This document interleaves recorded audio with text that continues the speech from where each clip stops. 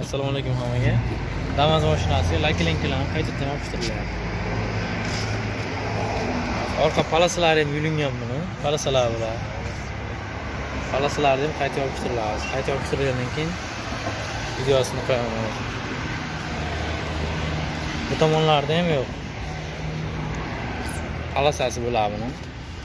Bu tomoni yulindi. Oldilariga ham birdan yopishadi. Tayyor holatini. Keyin videoda ko'rsataman sentr zamon qo'yildi buni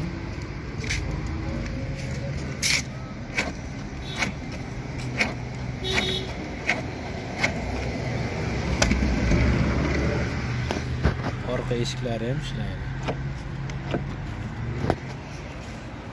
damas mashinasi bitta mana aka palasa yopishtirildi bunga yangi palasa hech qanaqa defekt yo'q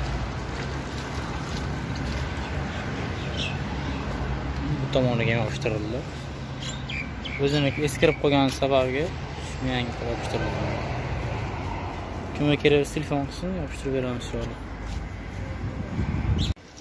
keyin yana bunga signalizatsiya qo'yilgan. Birda quflasa ikkini quflasa yopadi. Birda bossa ochadi. To'rtta eshikda. Hop hozir quflaymiz orqani ochib ko'ramiz yopiq ochildi uchta bossa hop. Signal chala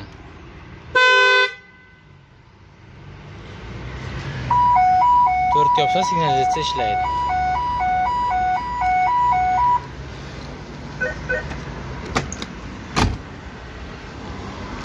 kimga kerak bo'lsa telefon qilamiz